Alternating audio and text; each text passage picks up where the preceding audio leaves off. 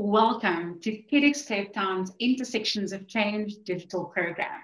These online conversations give us an opportunity to connect with our TEDx community and to learn more about how they are adjusting to a COVID 19 world.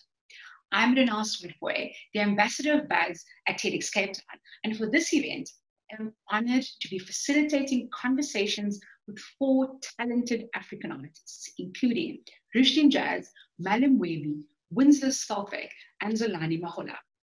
Now, if you've ever been to a TEDx Cape Town event, you would know that when you enter our venues, you are welcomed with sounds and creative expressions by talented African artists. And that's what we are aiming to achieve with this event. We invite you to experience conversations of how creativity has inspired hope for our artists. It's a creative journey of self reflection. I trust that you will not only enjoy the sounds, but also that you will receive the message. I'm trying to artist and TEDx friend Winslow Schalkwyk, and he has performed on our stage eight years ago. And to him, life is the continuous flow that we find ourselves in, subjects to the tide of birth and rebirth. As we survive and thrive, it's time to recreate, to redirect, to rethink, and to reevaluate. I'm waiting for Winslow to join me up on this virtual stage, all the way from Johannesburg. Ah, oh. how are you? Beautiful! Look how amazing your background looks. Love the place. I had to show up, guys. It's still Cape Town, you know. We have to represent no matter where we are. I mean, I totally understand that. This is the first time I've decided to wear hats. Love it. Totally love it. Looking good.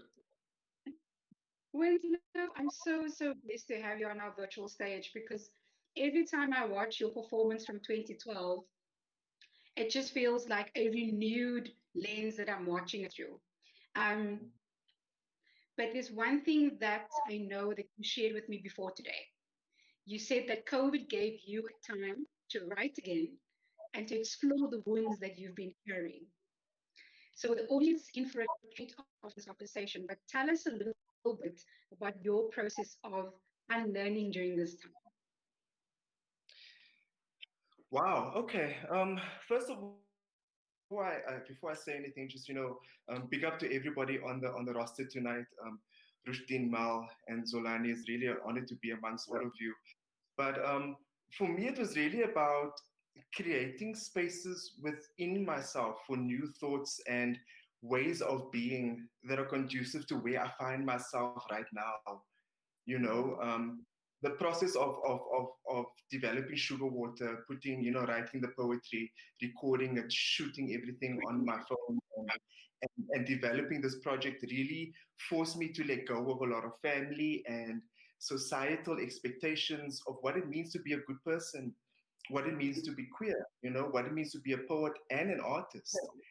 And really just discarding the thoughts and opinions of other people that I've somehow managed to internalize and that were not in alignment with my personal self, um, you know, my personal truth, actually, you know.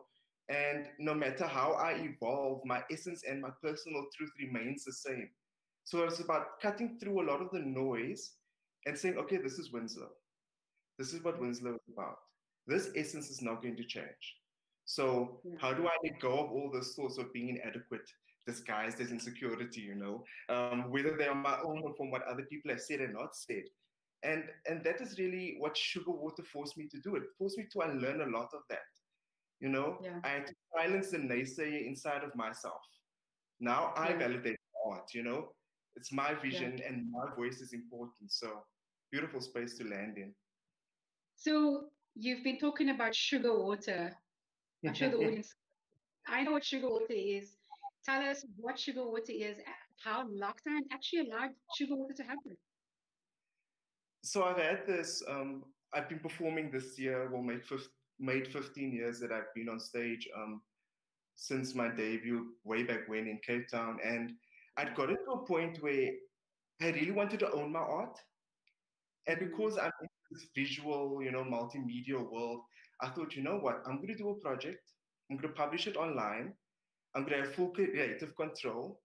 and that's what I did. So lockdown happened, and suddenly I'm by myself, self isolating in my apartment, and uh, and you know, and at that point, all these mental health issues started coming up for me. You know, I had to really confront things like my depression and my anxiety because I'm by myself. I can't see anybody because obviously everybody is um, protecting themselves. At point we were at level five, but who knew? We found that out afterwards. So I really just went, you know what?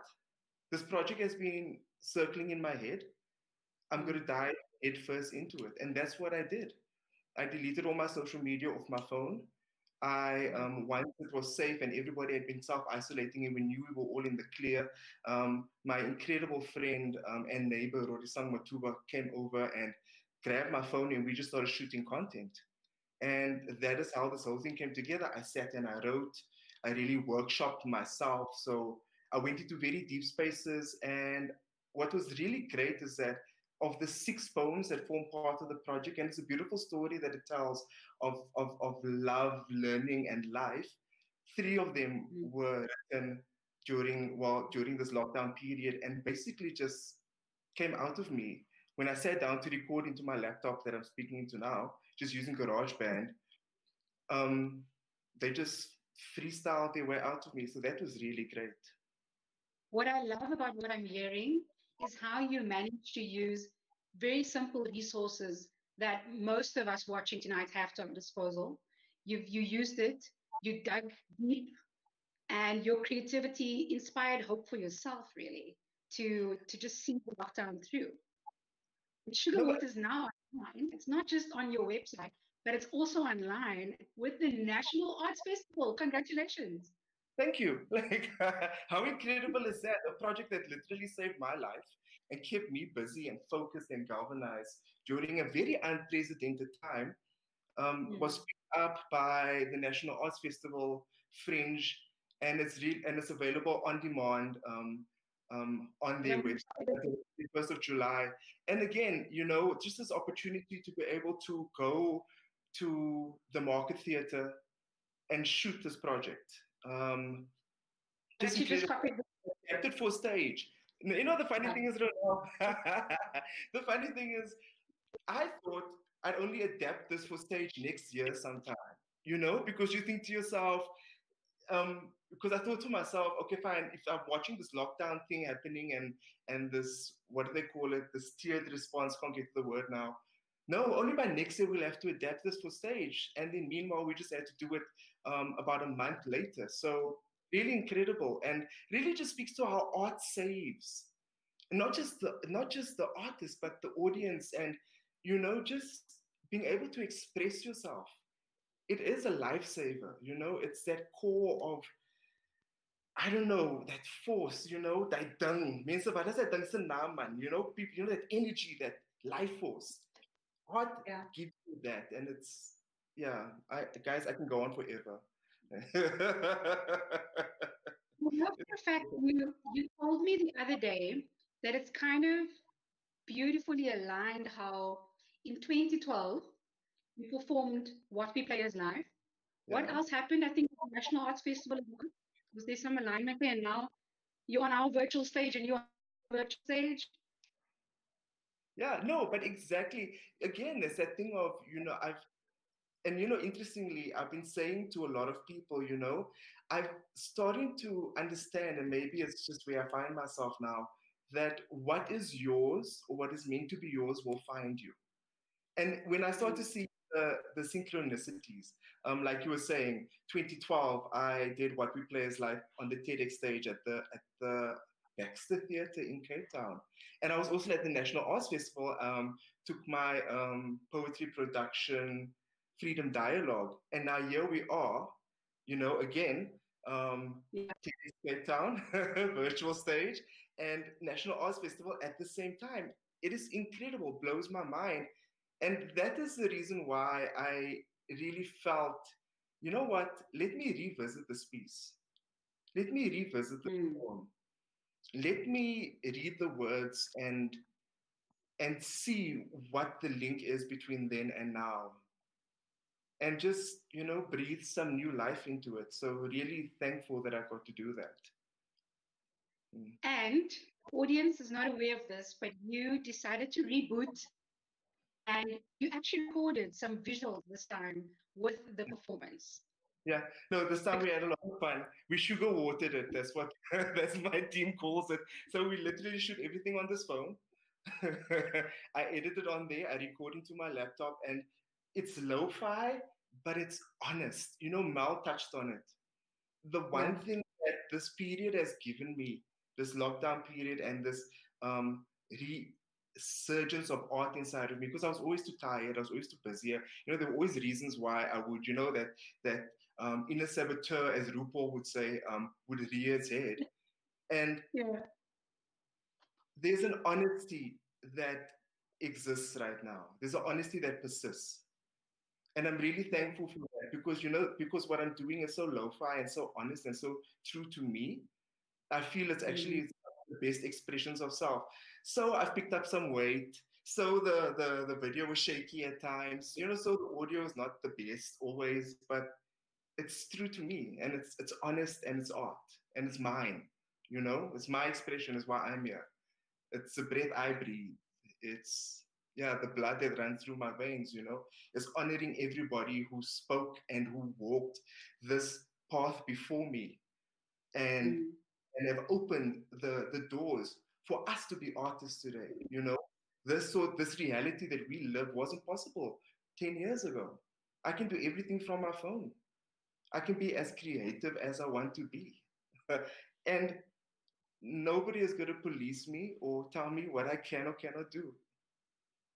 Simple. I'm so, so happy that you are allowed to be creative remotely because, you know, in that breath, I want to, I really want to thank you for just reminding us how creativity can inspire hope. And before we watch the video, I want to share a line from the poem. Oh. But before I share that line, is there any closing remarks that you want to share with the audience before you watch the video? Maybe just this. Um, now is the time. If there's a DIY project or something creative that you've wanted to do, we don't know when we'll have an opportunity like this again. We don't know when the world will stop and be able to take a breath.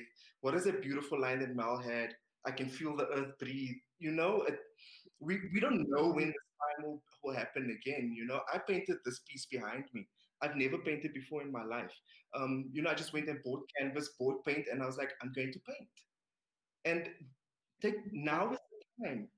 Explore the creativity and, and dive into, into those aspects of self that we never have time for. And really just allow whatever is there to come out and and honor the space that we are in because it, it really is a, a, breathing space it really is a healing space mm. thank you winslow for reminding us that Pleasure. we need to do more than just serve and inviting us to thrive because what we are is alive what we are is living and what we play is life. We're about to watch the reboot of that poem. Thank you. Enjoy, everybody. Thank you so much, everybody. Life, the continuous flow we find ourselves in, subject to tides of birth and rebirth, able to survive and thrive, to recreate, to redirect, to rethink, and reevaluate. Life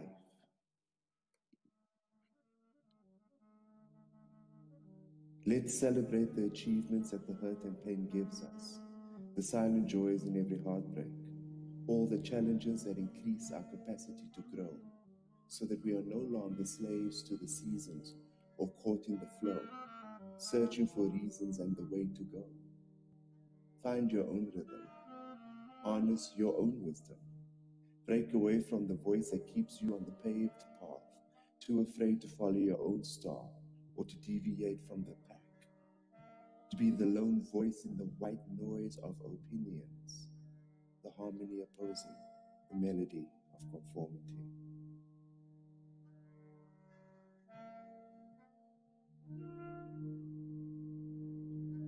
What if we had immunity from conformity? were stripped of all our self importance?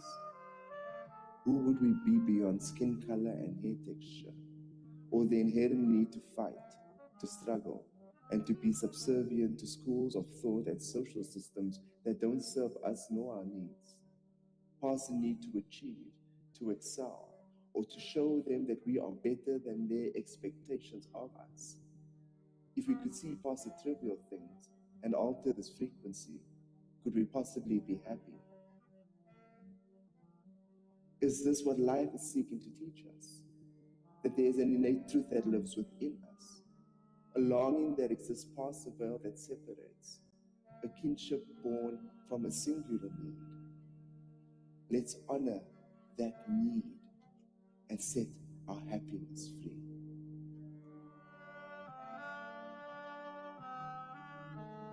Therein lies the joy, the beauty, the peace we pray for, the heaven we seek, the golden thread that binds us beyond the perception of separation, beyond the intellect and the need to be right, and stand vindicated in this inherent hate and the need to fight. Within all of us is a desire to be happy.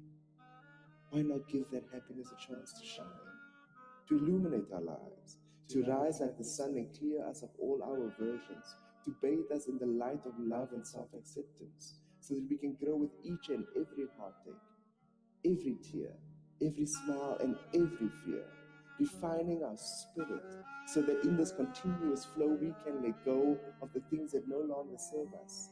Let's find our way in this new day. Let's give our happiness a time to shine. Let's do more than survive. Let's thrive because what we are is alive.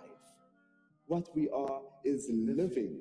And what we play is life.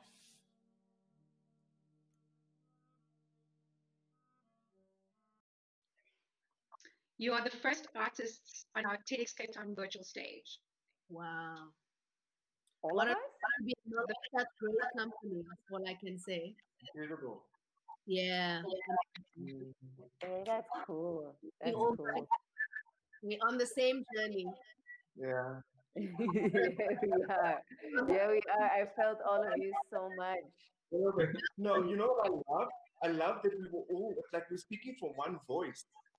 The more I'm listening to people like this, I've had this exact thought. I've gone through this exact thing. We can't Mm. ignore the synchronicity there is mind blowing.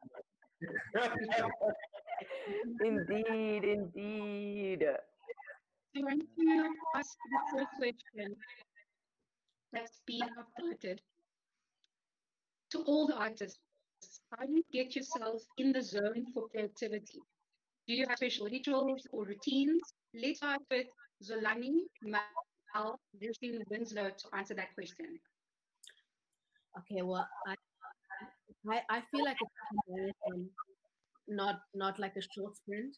So there's like things that I feel like I continuously have to do, like meditation, um, like like real self care practices to to be able to keep myself able to get into that creative space of flow.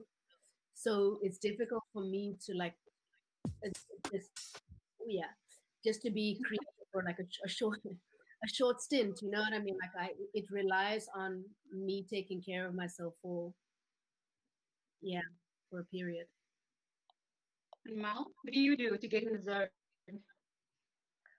I feel like I feel like my creativity interrupts my life all the time. I could be driving and with and then I'd like have to do something about it immediately.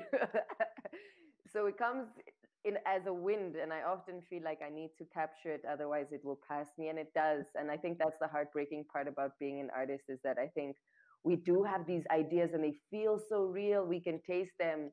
And then the stress of the day happens, you go home and you you can't even remember what the melody was or what that line that sparked that thing was so it can be quite heartbreaking for me um, but in terms of like making sh- like trying to really put myself in a position where i can create um, i would say tea is my number one everything every time it just helps me settle in and it reminds me i don't have to go anywhere right now because if i did I wouldn't be drinking something that needs to cool down first. So I don't know. It's an automatic sort of we're here, and let's see. Yeah. And then just cancel cancel the plans for the day because once you get going, you really don't want to feel interrupted by another. Christine.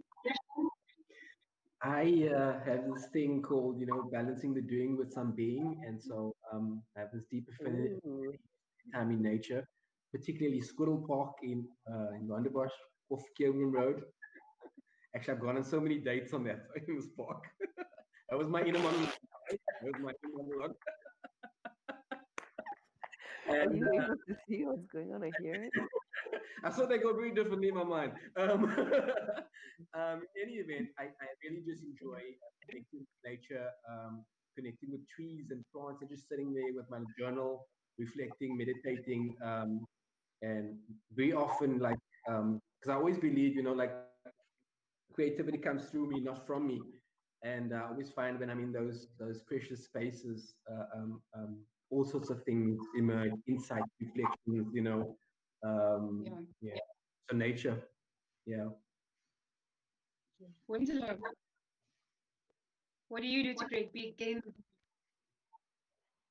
Um, everybody, what everybody else has said, yes.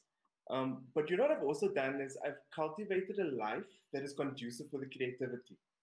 Do you know what I mean? I'm a plant parent, and especially when lockdown happened, when everybody else was rushing, running off the toilet paper, I was running to buy plants. I was like, I'm going to keep myself busy with potting soil on my balcony, and and really just you know, so cultivating that kind of life has worked for me.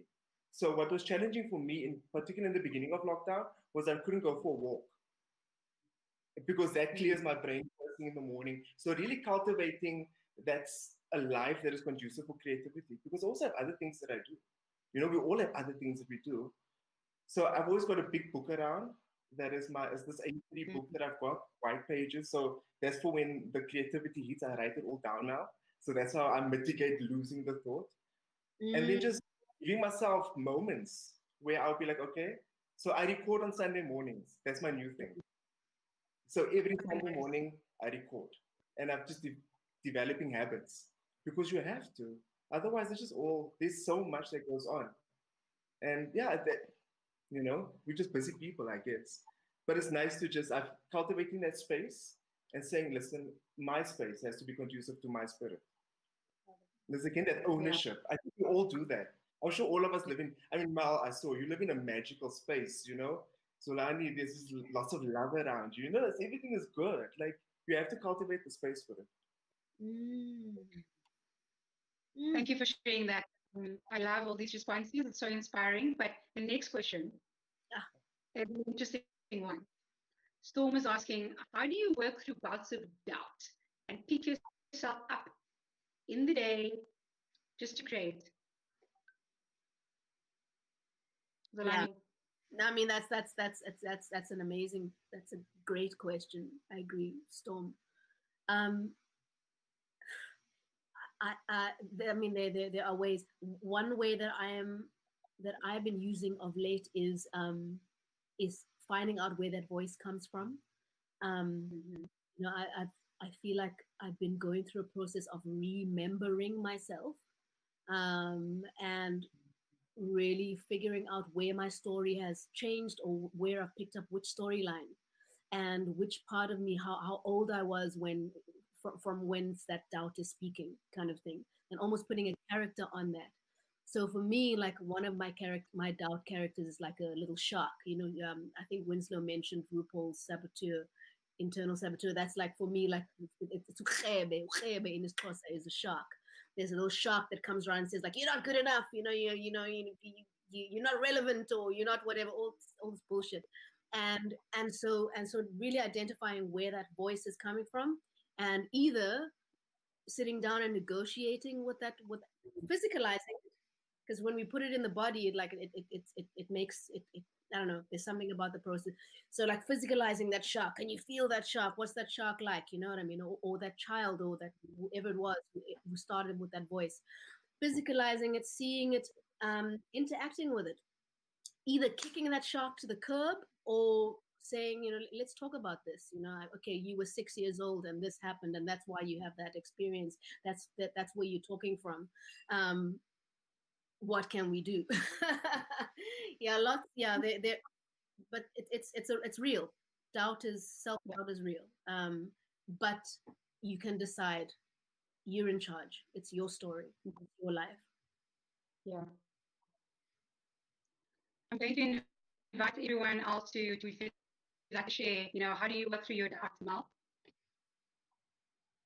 Mm, Um, oh, it's still a process for me. It's not like I have any sort of ritual that keeps me going. I must say that um, I've been quite a nomad for the past few years, and so it hasn't sort of allowed me to build a routine that can sort of keep me. And I'm I'm going to be completely honest and say that I'm I'm struggling even presently. So it's not like I have uh, anything in particular, but I can say that my loved ones, my goodness, the support system that I have, my family, my Mhm. friends, having real conversations with them, feeling so held. Um, and also just when you and my brother used to say this a lot as well, It is when you look around you and and the friends that you keep, that helps you remind you how brilliant you are because that's technically who you've decided to decorate your life with and who have been attracted to your space. So surely i'm doing something right if i've got all these incredible people around me and that definitely helps me going in general regardless of how nomadic i am.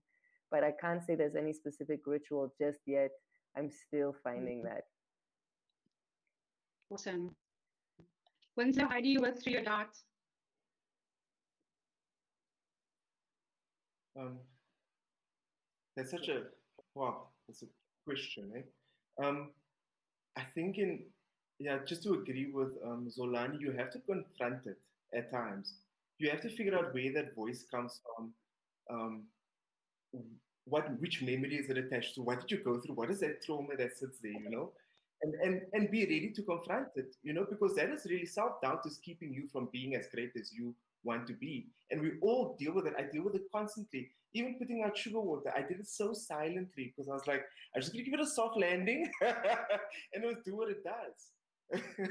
because you know we still go through it, but then there's yeah, hey, I don't know, guys. That I maybe it's just something that we just all have to face, and it's something that just really forces us to want to be artists, to want to create or Yeah. to want to push forward. You know, maybe it's part of the process.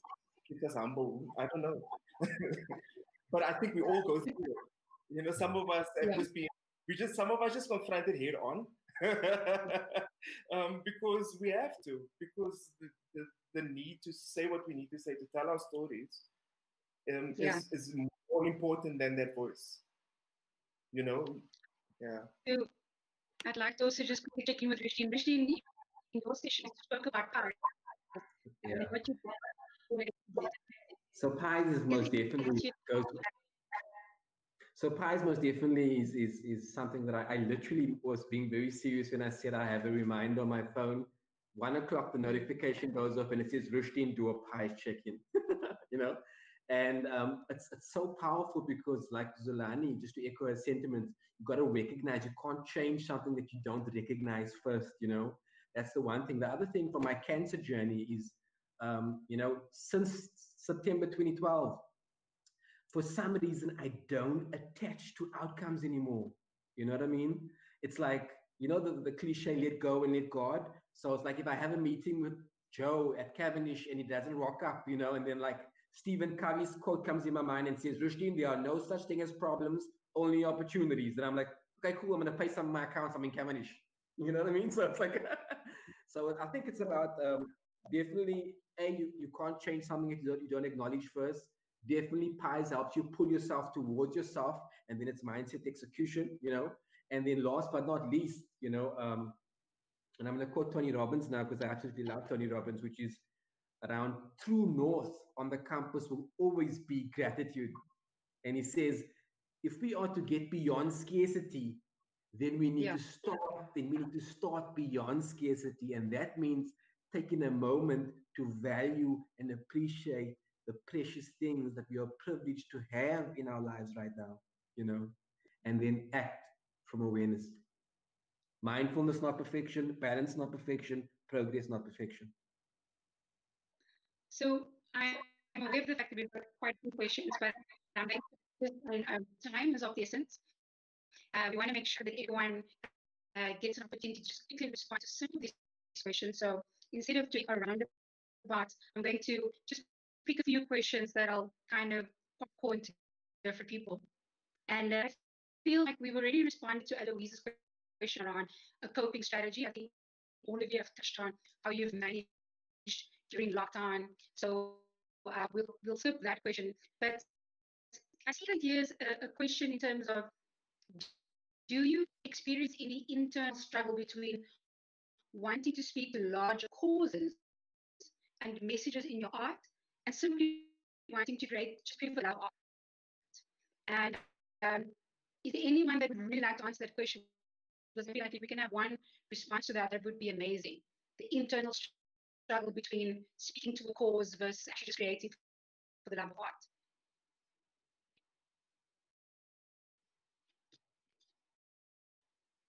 I'm gonna pop into Zolani. I, I saw a nod in your head there. Oh, I, I, thought Mel. I thought Mel, Mel. Mel was nodding to to take it. You were here. No, I was actually trying to find it because I think my internet is sketchy. I'm trying to find the question so I can read it. Sorry. no, I, I, think I think Renelle to pick you up a little bit. I don't know. I, I think it's. Oh, I I I was struggling to pick you up a little bit. Um, the is is it the conflict between um sort of uh a, a message or like like a public's what? Yeah, say it again. Yeah. Sorry. Yeah.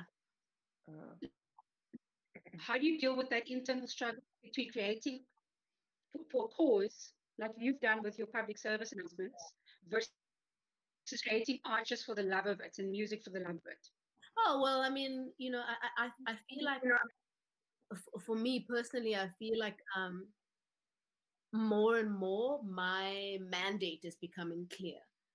You know, like more and more like what what I feel like I stand for is becoming clear, and and so it becomes easier to to align my my product for want of a better word my, my art with um you know with what what feels good to me you know so it so so it's so it's so like there's some equalization that that seems to be happening more and more. Um you know the the more that i think the more that we connect with our authentic selves the more that you know uh, what, what we produce is you know is is gonna be dope.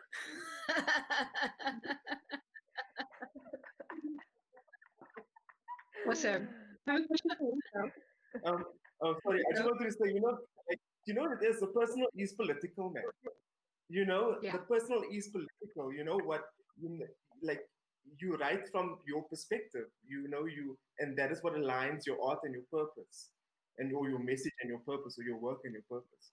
Because the personal is political. I'm a political statement because I choose to live the life that I live and say the things that I want to say. Mm. You know, and express mm. my life, whatever that life is. You know, speaks to like you know the importance of of of queer stories being told from queer perspectives you know to yeah. to challenge you know, the stories that are being told you know and to really mm-hmm. say okay but ownership of, of spaces? Yeah. Anyways sorry guys. I just i, I agree. I agree. Yeah. So there, there's a question specific to does storytelling from a vantage point queerness influence your work conceptually technically and artistically Yo, um, it does. you see me think big on like yo question. um, I think I just said it. You know, it's again that that personal being political. What I was very aware of and conscious of during this project, and you'll see it through the writing. Um, it opens with this piece, um, like men do, really confronting how we as as as as as, as black men love you know, and, and, and the violent nature of that love and why that love is there. So it starts, but it also it's still from a queer perspective, right. you know, because I also have to unlearn um, heteronormativity and, and all the socialization that I've been through that says that this Yeah. is okay and that isn't okay. Um, so you you you write from your I write from my own space. I write from where, what I know, and this is my story. So it's a story that is still did, and it also um, in the visuals as well. I was very conscious of showing skin because I wanted to say, you know, why can't I why can't I in the body that I'm in show some skin? Like you know, because I want to make it provocative. You know, I've got a poem called um, "Tall Order" about how I like tall guys. And in each verse, I'm discussing the different types that I have. and it's beautiful and fun, you know. I'm like, yes, I'm here, I'm queer, you know, take note of me. Hear my story. Give us an Yeah. opportunity to tell the story. Mm. It's important. Beautiful. On that note, I want to thank all of you for sharing your journeys with us tonight. Thank you, thank you, thank you. Stay safe, stay healthy, and keep on creating for us. Thank you, everyone. Everyone. Cheers, Mal, Delaney, Christian, Winslow. What a powerful evening. We thank you for choosing to spend your time with us tonight. We encourage you to act from awareness, to rest, and to discard the messages that are not in alignment with your personal truth so that you are able to wake up tomorrow and use your creativity to inspire hope and social change.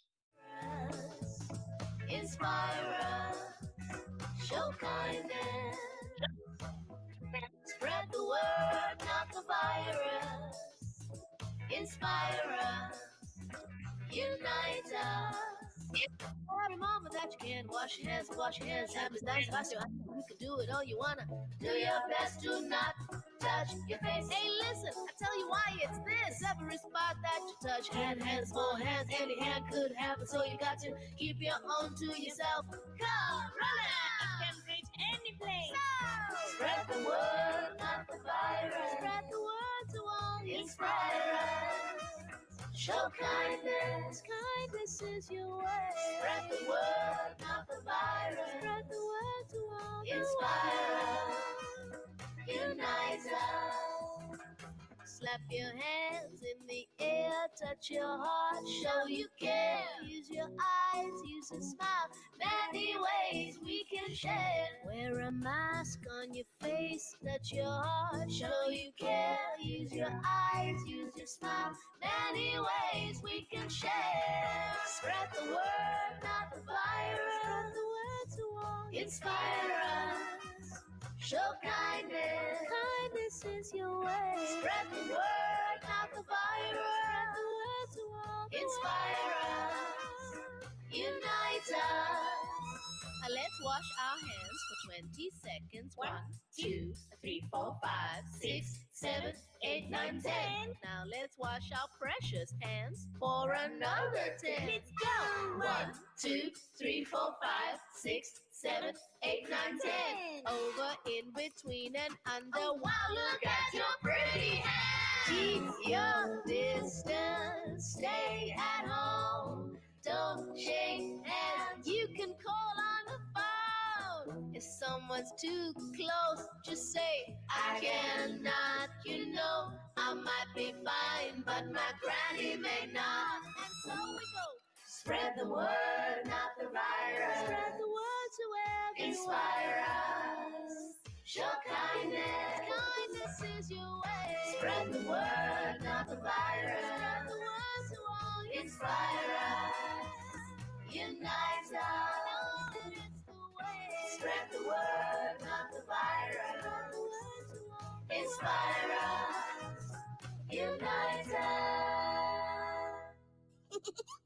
Hello, friends. My name is Baba. Let's unite with Africa Tikkun. Wash your hands, wear your mask, and stay safe.